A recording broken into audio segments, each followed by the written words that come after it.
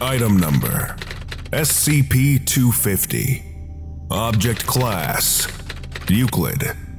Special Containment Procedures. SCP-250 is to be kept in a 50 meter by 50 meter enclosure, simulating a prairie environment, with padded steel walls 15 meters high and 1 meter thick.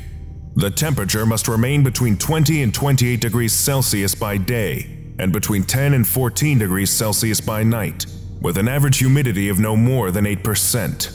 This serves the dual purpose of ensuring that SCP-250's overall behavior remains predictable and of maintaining the physical integrity of its component parts. Vegetation within the enclosure is to be maintained on a weekly basis. Although SCP-250 does not physically require nutrition, it is to be fed one live adult pig every two days in order to regulate its aggression and hunting instincts. The remnants of its meal are to be removed from its enclosure no less than one hour after the onset of its nightly dormancy period. This includes cleaning any residual biological debris from SCP-250's physical components with compressed air and whisk brooms.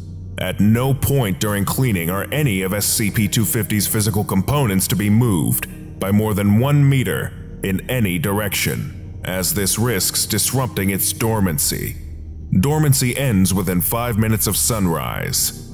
Access to SCP-250's containment during its activity period is prohibited. Description SCP-250 is the animate fossil skeleton of an allosaur originally identified as Allosaurus fragilis. However, an incomplete scientific article found in the personal effects of paleontologist Dr. indicates that this classification may have been erroneous. It consists of 153 disarticulated bones and 14 plaster and fiberglass replacements, held together and animated by an unknown force.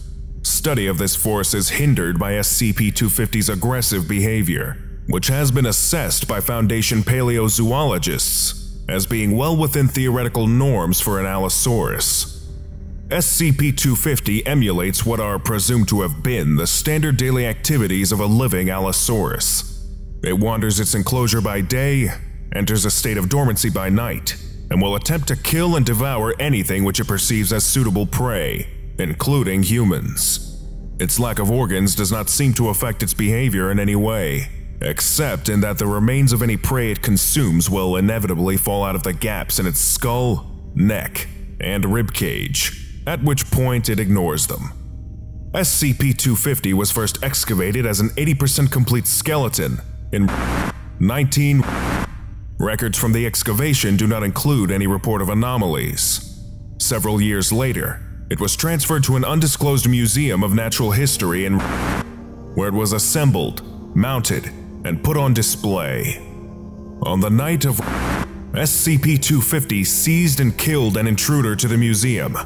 Although damage to the intruder's remains was so extensive as to render forensic identification impractical, they were conclusively shown to not be those of paleontologist Dr.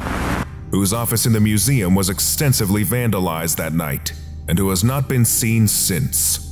Foundation personnel embedded within museum staff reported the incident, and SCP-250 was taken into custody. Lesson complete.